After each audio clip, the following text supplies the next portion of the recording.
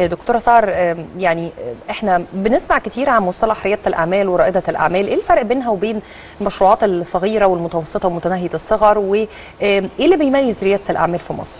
شوفي هو المشروع في الآخر هو مشروع. لكن الفكرة جاية فين؟ في آه، أسلوب التنفيذ ده واحد ثم الفكر ده اتنين. يعني ريادة الأعمال بيتبنى فكرة آه، مقتنع بيها جدا وبيدرسها صح. بيحط لها الأساسيات صح وبالتالي بيبتدي يشتغل. فده آه، آه، مختلف كتير قوي. ممكن المشروع الصغير تبصي تلاقي مثلا آه، حد ينزل على عربيه ويشتغل أكل ويأكل ناس وبتاع حاجة بسيطة سريعة. فده بيختلف فكرة عن ما فيهاش ابتكار يعني. ما فيهاش آه. ابتكارات كتير. لكن هنا بتبقى ابتكار.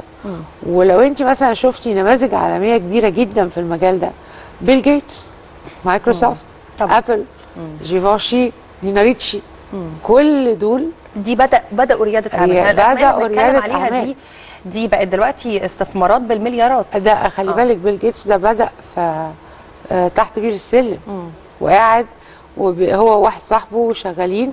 لما بدات بدأت مايكروسوفت. النهارده مايكروسوفت ذي مايكروسوفت اللي في العالم.